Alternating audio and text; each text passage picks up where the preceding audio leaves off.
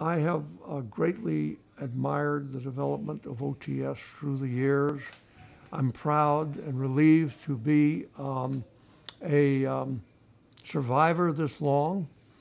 And um, I guess 75th anniversary, forget it. This is my last salute to you. And I just wanted to say one final important thing to you. You must understand it. Most of you will realize it, I think. This is your century. And by that I mean not that just that OTS will continue to flourish, to have global influence, but also this is, the rest of the century is going to be the century of biology. And we know all about well, the great things that molecular biology is accomplishing and developmental biology.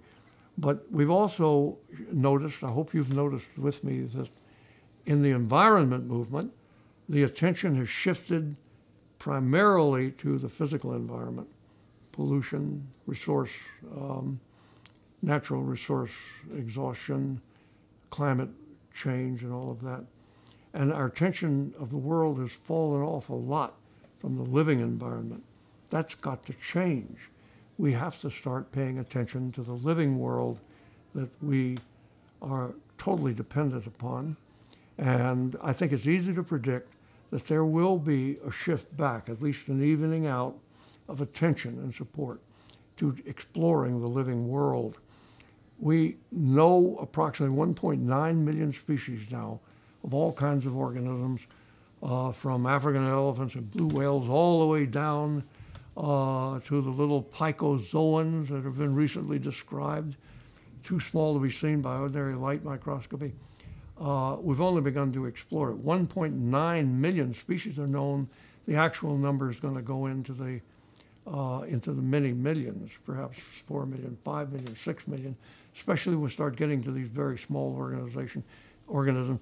And what better place than OTS to begin exploring, resume seriously with a goal in mind, a finishing time, or at least a, a time when we reach 80% of the goal and 90% of the goal, what better place uh, to have as a headquarters for this kind of search to go on than biodiversity rich uh, properties of uh, OTS and, and, and those attended to and researched by OTS people and OTS affiliated scientists around the world.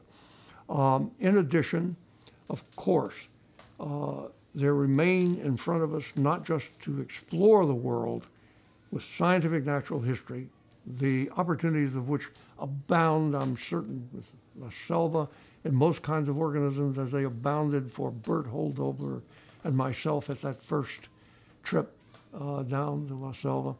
Uh, but in addition, we have before us the great task of understanding how ecosystems are put together, what keeps them stable, what they mean in terms of basic biology but also in terms vitally of uh, human survival and quality of life.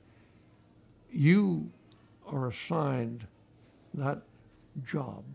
If you don't have enough money now, and you certainly don't, it's inevitable uh, that the attention of the world will shift in your favor.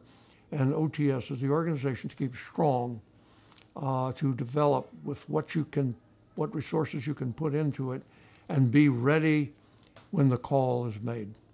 Thank you so much for having me here, at least like this.